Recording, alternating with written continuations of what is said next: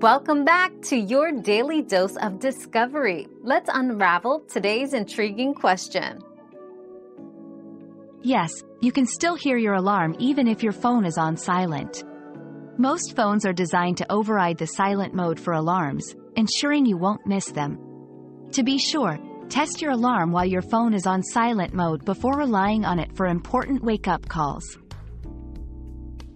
We've quenched today's curiosity, but there's always more to learn.